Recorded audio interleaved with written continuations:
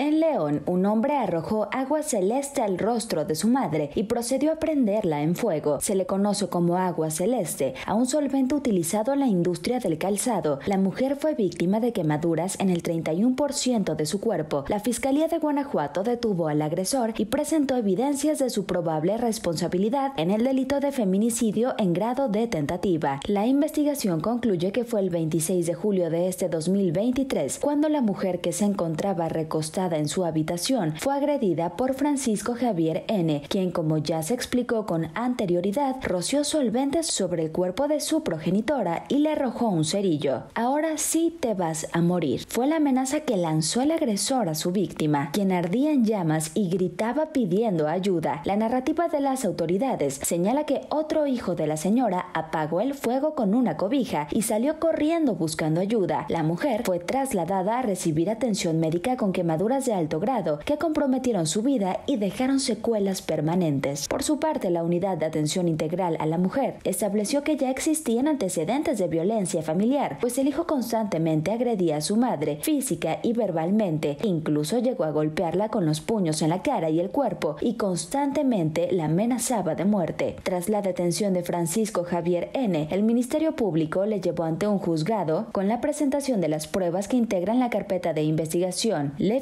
cargos por tentativa de feminicidio, a lo que el juez resolvió a favor de la víctima y envió preso al presunto agresor mientras se define su sentencia. Informó para Canal 13 Camila Islas.